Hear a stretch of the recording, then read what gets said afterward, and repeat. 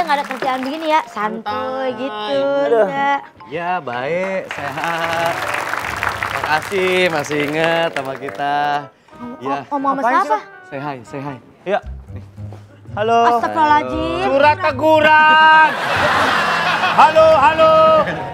Gua suruh hai hai sama surat teguran. Kalau kita nggak negor, ntar dikira sombong. Dibilang sombong. Iya sih, betul. Dari pusat nih. Ntar ditaruh di grup warga. Ya. Bilang sombong, gak negor. Kagak jadi artis. Surat teguran dari siapa? Dari pusat. Buat kantor kita. Nggak tahu sering banget kantor kita dapat teguran dah. Kenapa ditegur kan kita kerjanya serius nggak bercanda? Teguran, teguran apa lagi sih? Oh, yang ini belum ditindaklanjuti yang kasus pencurian emas. Yang dibawa sama Pak Asli, Iya, bapak lu yang waktu itu yang kemarin. dilimpahin ke sini, kalian nggak selesaiin sih? Bukan gak selesaiin, gue udah kenangkep. Tapi yang ketangkep sama gue anak buahnya waktu itu. Barang buktinya juga nggak terlalu banyak. Bosnya? Pas gue preskon, anak buahnya ngomong gini, saya berani begini karena saya dilindungi sama orang polsek. Oh, ya, ya, ya. Jadi, menurut gue kejahatan ini sistematis dan rumit. Bukan mungkin dia dibawa pengaruh kali. Kebetulan Katanya. dia pengaruh obat-obatan habis minum paracetamol katanya. Oh, demam, malamnya demam. Gitu. Iya. Jadi ini sistematis, Sur. Gue nggak bisa kerja sendirian. Bener, bener, bener. Ini udah skalanya udah eh, nasional ini. Iya sih, khususnya di komplotan juga kan, pasti udah- Soalnya pernah juga gua tangkap terus dia bikin video. Oh, video. Saya harus bayar 20 juta ini. Saya harus bayar bang 20 juta ini. Buat kalian ini. Ya. Gitu. Nah masalahnya yang ketangkep baru anak buahnya. Kalau itunya udah susah dilacak. Tapi kalian tahu nggak sih kalau hari ini tuh komandan mau mindahin tahanan dari pusat? Lah kok nggak nugasin gua kan harusnya gua yang awal. Si Andre nih. Eh, eh, hei, main si Andre, si Andre. Mumpung nggak ada orangnya. Mumpung nggak ada orangnya. Dan lu itu, Dia ya tuh mungkin, suka ngambil keputusan sendiri gitu loh. ya mungkin ada kaitannya sama masalah ini kali. Terus lu nggak tindak lanjutin itu? ta- tapi ini beneran dari dari kantor pusat. Iya. Takutnya dari orang dari orang Betawi. Iya, saya kalau kita lewat orang Betawi suka ditegur. Iya, teguran. Jadi tegur, bang. Iya. Ngopi. Iya kelihatan lagi ngopi. Pernah nggak lihat orang Betawi? Lagi sarungan, duduk Iya. di teras, Iya. kita berangkat kerja. Iya. Sini mampir, lah kan kita mau kerja. Iya, sudah mampir. Iya. Iya itu namanya. Mau ke mana, Tong? Biasa ini. Mana kita tahu biasanya ke taman. Ntar suruh mampir kalau kita mampir beneran bingung dia ngajak ngobrol. dia. Ngobrol apa ini? Mau ke mana, Bang? Nyari angin. Ah, di mana, Bang? Pinggir tol Cikampek. kan? Nyari angin. Nyari angin. Nah ini masalah pencurian emas ini komplek guys. Kalau misalnya peredarannya masih di Jakarta mungkin gua gampang nyarinya. Hmm. Kalau misalnya udah di daerah luar Jakarta misalnya kayak Surabaya gitu, emasnya pasti udah berubah nama. Jadi apa? Jadi Cak. Nah, jadi cak. Kalau udah nyebrang pulau jadi beli. Iya, bener, bener. Kalau dekat Selat Sunda jadi A. Ah bener. Beli batangan nih katanya. Bukan mas batangan. Iya bener. Jadi susah dilacak udah. Iya, Oh, ya? Terus tahanan yang kayak gimana? Nah, habis makan pedes, habis makan pedes nih. Pak, Bu, apa benar? Apaan? Katanya ada tahanan mau datang kemari. Hatut saya, Pak. Eh, gak usah takut. Sebentar ini rambut lu kayak kapling banyak buat batasnya. Emang, emang dijual itu per kapleng. Trisna, Kenapa takut? Iya, emang emang ada tahanan mau dipindahin ke sini. Kalau nggak salah di sini tadi ada sih namanya. Oh ya? Pak, emang nggak ngeri, Pak? Itu kan tahanan kita kan yang biasa-biasa. Paling yang nyopet sehari, dua hari. Kalau yang kayak gitu-gitu. Nyopet sehari dua hari, gilang dua tahun di situ. Mike Lukok. Bule penjahatnya. Kayaknya sih ini kasus yang mirip-mirip sama kasus emas ini. Minimal bukan bukan bule orang bingung. Apa? Mike, lu kok? Bukan. Kok? Sama bule itu Mike Lukok. Iya iya iya. Ayo, Ini, ayo. ini komplotan ini tiga bersaudara. Hah? Mike bersaudara namanya. Oh. Ini aja? ini adeknya. Yang kakaknya? Kakaknya ada Mike Lunet sama Mike Luraket. Oh, net raket kok. Bapaknya gor bulu tangkis ya. Iya iya. Lahirkan, lahirkan itu semua. Ya ini namanya Mike Lukok yang bakal dipindah ke sini. Emang lu tahu Mike Lukok? Enggak, Pak, saya nggak tahu. Tapi kata Pak Komandan cerita, katanya dia serem banget orangnya. Ya pasti kalau dari pusat mah pasti yang sangar-sangar. Saya izin ya, saya nggak enak badan nih. Ya kan? Saya panas. Pakai termometer, bukan gini, bukan digini. Iya, Dicolokin ke dalam bawah mata.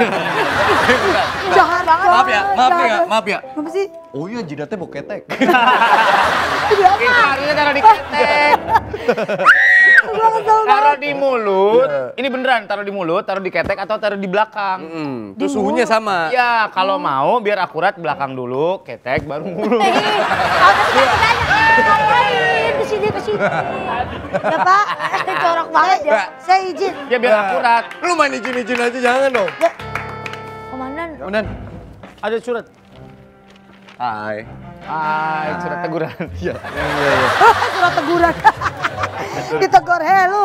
Dari pusat. Kemudian. Ini saya ingin menerangkan bahwa sebentar lagi kita akan ada tahanan yang dipindahkan ke kantor kita. Kok bukan saya yang ngawal sih, komandan itu kan tugas saya.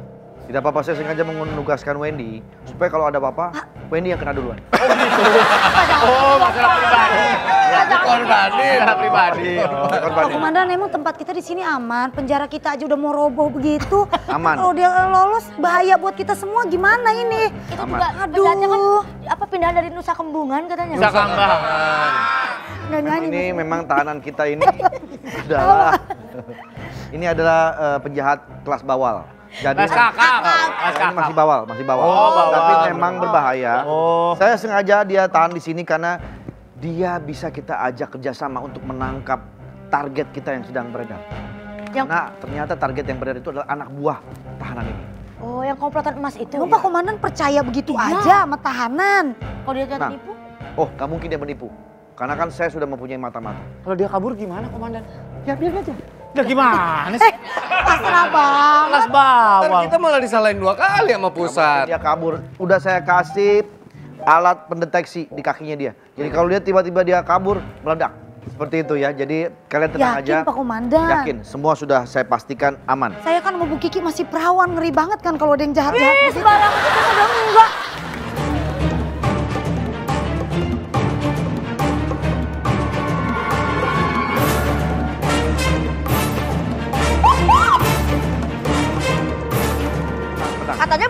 tahanan. Iya. Tenang, tenang. Semua bawa, bawa, bawa kaki itu. Wow, Allahu Akbar. Sabar, sabar. Tenang. Kenapa, Wen? Kan, kan saya bilang. Eh, lu bawa begini? eh kan harusnya pistol. Harusnya kan pistol. Habis jemuran tadi di sini. Kagak ini salah bawa ini ada di belakang. Tukar. Komandan, mau apa? Kelinci apa burung dara? Masa pas di muka ada kelinci. Ini tahanan yang sudah berhasil kami tangkap. Ya. Jadi memang ini yang sudah seperti saya tugaskan. Inilah tahanan yang akan kita ajak kerjasama. Buka.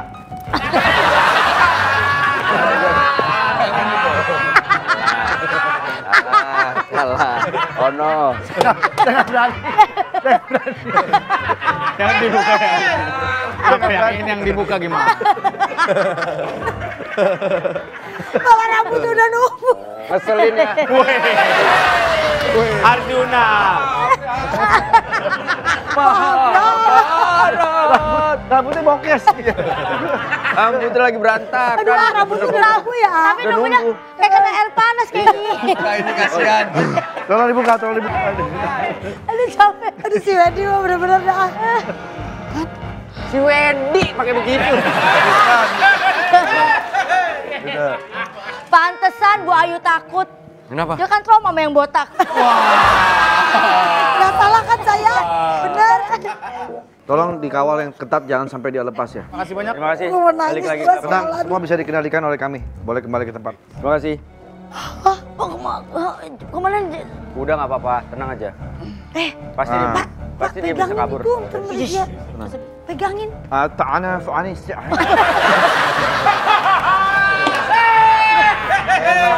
Komunikasinya nggak semua semua. Oh, ini bapaknya Fadil Jaidi. Bukan. Pamu. Bukan, bukan. Arab Pas juga. borgolnya. Tenang, tenang. Eh, Eh, saya mohon kerjasamanya dengan pihak kepolisian lapor Pak untuk bisa menangkap Allah. target kita. Dadanya itu lah, ta- tatapan matanya itu loh. Eh, sama Ayu senyum. Eh jangan gitu dong kan aku Anda jadi kegoda. Tolong dibantu, dia suka yang itu. Udah lama. Tapi saya dari jauh nih datang. Iya, iya. Jadi ini teman Anda? Yang dari luar negeri aja. Memang tepat datang pada malam hari ini. Ini pilihan yang tepat. Betul sekali. Dia baru saja datang dari desa. Wah. Keluarganya butuh uang. Sebentar ya. Iya. Ah, 300 ringgit bagaimana? Ah, boleh, boleh. Eh, ada orang yang mau sama kamu. Aku belum siap om. 50 ringgit. Ambilnya, ambilnya banyak banget loh. Tadi kan Di sini 300, potongnya 50. Oh, potongnya banyak banget manajemen. Iya, iya. Saya kan harus kebangun tempatnya. Baik kalau begitu, Aduh, eh, tolong Ayu buatkan minuman, buatkan minuman untuk eh, tamu kita. Mau minum apa? Loh, Aduh capek.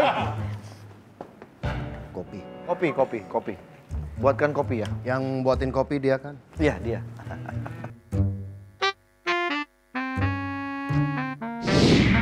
Kalau misalnya kita ajak dia kerja sama terus dia melarikan diri bersama teman-teman dan komplotannya gimana? Kita tambah lagi tahanan dia. Sebentar. Ya.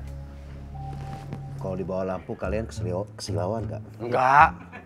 Ini pantulannya sih dari situ. Iya itu maksudnya. Makanya kita juga nggak pengen mas di bawah lampu banget. Ngeri retak keluar bebek. Luar bebek dong.